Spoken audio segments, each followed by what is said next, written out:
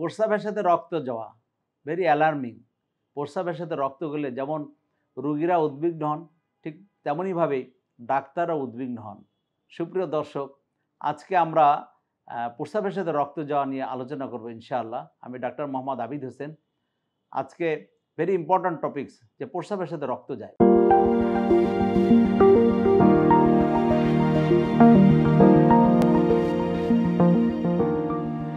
প্রস্রাবের সাথে যখন রক্ত যায়, তখন সবাই উদ্বিগ্ন হয়ে যান, রুগী উদ্বিগ্ন হন, রুগীর বাবা মা উদ্বিগ্ন হন গার্জিয়ানরা পেরেশান হয়ে যান এবং ডাক্তারের কাছে যখন আসেন, ডাক্তারও একটু উদ্বিগ্ন হন যে কোথা থেকে রক্তটা আসলো। এই প্রসাবের সাথে রক্ত যে যায়, এটাকে ইংলিশে হেমাচুরিয়া বলে, যে রক্ত যাচ্ছে প্রস্রাবের সাথে। এটা অনেক কারণ হতে পারে। যেমন কিছু কারণ আছে, যে কারণগুলো খুবই সচরাচর ঘটে থাকে। যেমন কিছু খাদ্য আছে কালারিং সাবস্ট্যান্স লাল রঙের কোনো কালারিং সাবস্ট্যান্স দিয়ে খাবার তৈরি করা হয়েছে। ওই খাবার খেলে একটু লালচে প্রসাব হতে পারে। যেমন ইদানিং দেখা যায় যে আমাদের দেশে ড্রাগন ফল খুব চলে। এই ড্রাগন ফল যারা খায়, তাদের পরের দিন দেখা যায় যে লালচে রঙের প্রসাব হয়। এটা কিন্তু কোনো অসুখ না, কিন্তু লালচে রঙের প্রসাব হলে ডেফিনেটলি কারণ খুঁজে বের করতে হবে।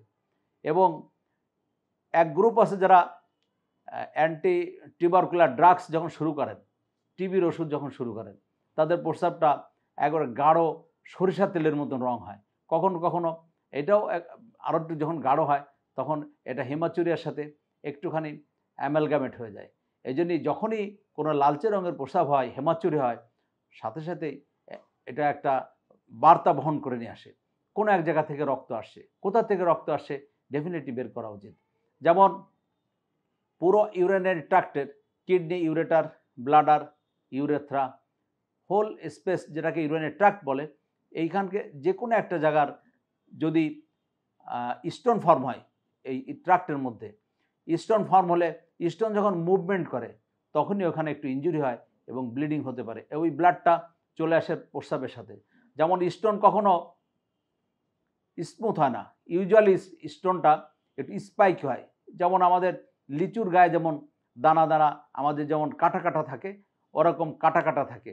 যখন মুভমেন্ট করে, তখন একটু একটুখানি মিউকোসাল ইঞ্জুরি করে। ওই মিউকোসাল ইঞ্জুরি থেকে একটুখানি ব্লিডিং হয়, যেটা হেমাচুরিয়া রক্তের সাথে এই প্রস্রাবের সাথে রক্ত আকারে এটা চলে আসে। এই ট্রাক্টের মধ্যে যে কোনো এক জায়গায় যদি টিউমার হয় টিউমার হলে ইউজুয়ালি পেনলেস হেমাচুরি হয়, ব্যথা থাকে না। এটা বেশি অ্যালার্মিং এটা নিয়ে সবাই একটু উদ্বিগ্ন বেশি থাকেন যে কোথা থেকে রক্তটা আসলো। এবং কখনো কখনো পেনলেস এবং পেন ফ্রি হেমাচুরিয়া এটা আইডেন্টিফাই করা হয়। তারপরে হিস্ট্রিতে অনেক কিছু বোঝা যায়। যে প্রস্রাবের সাথে যদি ইনিশিয়াল পার্টে প্রস্রাবের শুরুতে যদি রক্ত আসে ইনিশিয়াল হেমাচুরিয়া বলে, যদি পুরা প্রস্রাব জুড়ে যদি রক্ত আসে কন্টিনিউয়াস হেমাচুরিয়া বলে, এবং টার্মিনাল প্রস্রাব শেষ হয়ে যাওয়ার পর, শেষ অংশে অথবা শেষ হয়ে যাওয়ার পরে যদি রক্ত আসে, ওটাকে টার্মিনাল হেমাচুরিয়া বলে। এবং খুব বিশেষ একটা ক্ষেত্র আছে যে ক্ষেত্রে রুগীরা এসে বলেন যে লাল সুতার মতো একটা রক্ত বেরিয়েছে।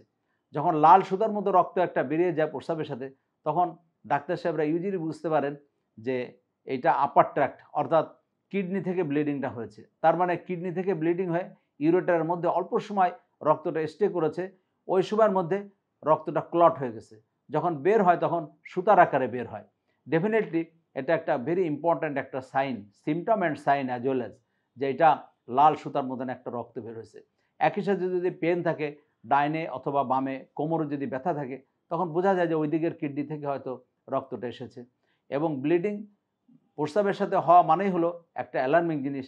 যখন রুগীরা ডাক্তারের কাছে আসেন, ডাক্তাররা অল্প কিছু পরীক্ষা, যেমন ফার্স্ট লাইন ইনভেস্টিগেশন, সামান্য কিছু পরীক্ষা, যে urine, routine and microscopic examination plain X ray KUB ultrasonogram KUB এবং রক্তের কিছু পরীক্ষা, যেমন ব্লাড সুগার ইউরিয়া এবং ক্রিয়েটিনিন এই ফার্স্ট লাইন ইনভেস্টিগেশন করেই ইউজুয়ালি একটা গাইডলাইন পাওয়া যায়। কোথা থেকে রক্ত আসে বোঝা যায়। এরপরে কনফার্মেশনের জন্য আর একটু বেশি, যেমন সিটি স্ক্যান এমআরআই আর একটু বেশি ইমপ্রুভড অথবা সেকেন্ড লাইন ইনভেস্টিগেশন করা হয় ডায়াগনোসিস কনফার্ম করার জন্য। তো ডায়াগনোসিস কনফার্ম হলে ওই ডায়াগনোসিস যেটা হলো, কোথা থেকে ব্লিডিং হলো, সেই অসুখের চিকিৎসা ইউজুয়ালি করা হয়। তো ব্লিডিং যখন প্রস্রাবের ইউরিনারি ট্রাক্টে যখন ব্লিডিং হয়, অর্থাৎ হেমাচুরিয়া, রক্ত নিয়ে যখন রুগীরা আসেন রিয়েলি একটা সবাই উদ্বিগ্ন আসেন এবং ডাক্তার সাহেবরা একটু উদ্বিগ্ন হন যে কোথা থেকে রক্ত আসে। যখনই রক্ত প্রস্রাবের সাথে আসে, তখনই ডাক্তারের কাছে আসা উচিত এবং তাড়াতাড়ি দ্রুততার সাথে ইনভেস্টিগেশন করে এর কজ বের করা উচিত এবং তাড়াতাড়ি চিকিৎসা নেওয়া উচিত। এবং অনেক সময় দেখা যায় কি, যে পেনলেস হেমাচুরিয়া একবার হয়েছে আর হয় নাই। অনেক সময় রুগীরাও একটু আশ্বস্ত হয়ে যান যে আমার তো রক্ত আসে নাই। কিন্তু আশ্বস্ত আসলে বেশি হওয়া উচিত না। তার কারণ, একবার হেমাচুরিয়া হলো, আর কখনো হেমাচুরিয়া হলো না। তিন মাস, চার মাস অথবা এক বছর পরে দেখা গেল যে বড় একটা টিউমার নিয়ে রুগী হাজির হয়েছে, তখন হেমাচুরিয়া হলো, আবার তখন ডাক্তারের কাছে আসেন। তার মানে অসুখটা ছিল ওই এক বছর আগেই। অসুখটা ডায়াগনোসিস হতো, যদি কারেক্টলি ইনভেস্টিগেশন করা হতো। এই এক বছর ধরে গুরুত্ব দেওয়া হয় নাই, গুরুত্বহীনভাবে ছিল। নেগলেক্টেড অবস্থায় ছিল এবং টিউমারটা আস্তে আস্তে বাড়তে বাড়তে বাড়তে বাড়তে যখন বড় হয়ে গেছে তখন ইজিলি এটা আইডেন্টিফাই হয়। এই জন্যই যখনই হেমাচুরিয়া হয় প্রস্রাবের সাথে রক্ত যায়, তখনই খুব সিরিয়াসলি এটা ইনভেস্টিগেট করা উচিত এবং রক্তে, রক্ত যাওয়ার কারণ বের করা উচিত এবং সে অনুযায়ী চিকিৎসা করা উচিত। আপনারা ভালো থাকুন, সুস্থ থাকুন। আসসালামু আলাইকুম রহমতুল্লাহ।